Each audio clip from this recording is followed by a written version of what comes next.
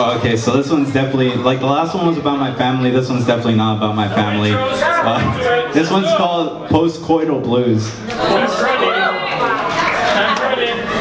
I awake to grayness of morning before sunrise, greeting me with amnesia, forgetting the way you opened up to me like Catholic sinners in confession, like roses on a man's chest, revelation. You reveal yourself to me as sacred fire burning my oily cage. Your tongue tastes of prayer candles, all too familiar. Saliva drips on my chest like hot wax in holy spaces. I howl como agua bendita voz de Dios. You laugh you cry, you whisper, heavens as deep as chasms, lining my outer ear like earrings, piercing my skin with teeth, gentler than peach tree. Soy tu durazno.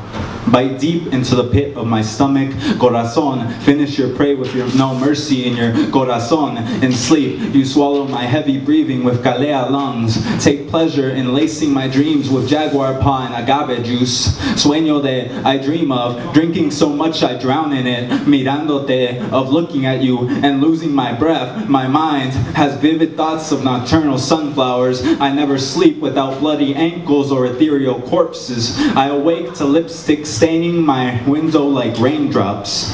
Television static falling on ashtrays beside unfinished oraciones and half-finished cheap beers. Your taste still buzzes in my mouth, along with cosmic incantation and insomniac verse, preciosa.